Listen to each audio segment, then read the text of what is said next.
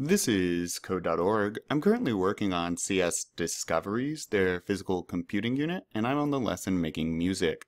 Making songs awesome. You can make and play a full songs with the buzzer play notes.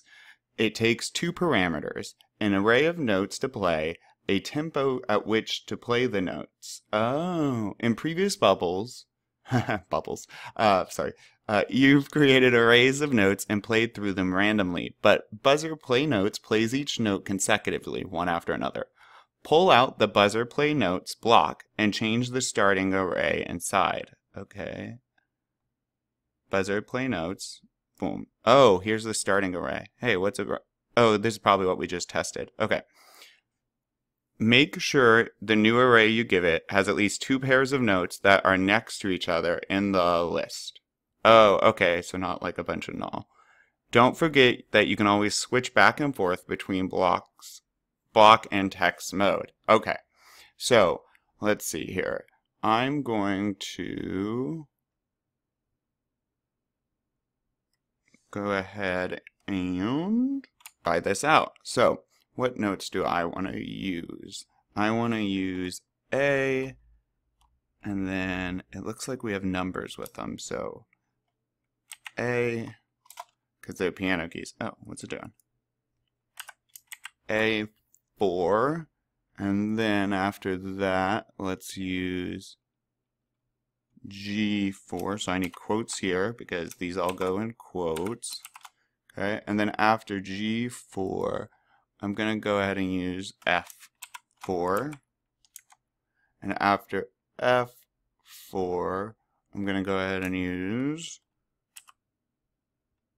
G4 again. And then, let's see, A4, and now, oops, I need quotes. Let's see if this is something. Okay, so I just filled in the notes. Whoa. I'm going to change this up. What if I do 300?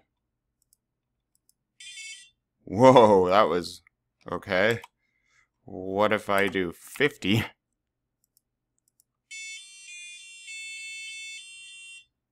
Huh? Huh? Are you hearing it yet? Oh, wait. Wait. No, that's not what I... I'm going to switch to text mode.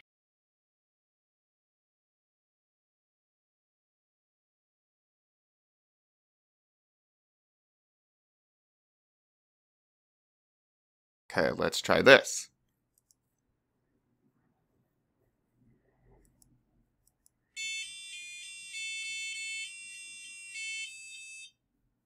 Well, that was kind of high at the end.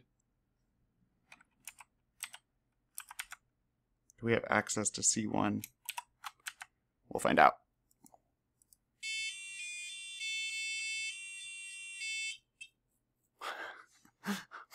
Well, it's it's the start of Mary Had a Little Lamb. Regardless, uh awesome, let's keep going.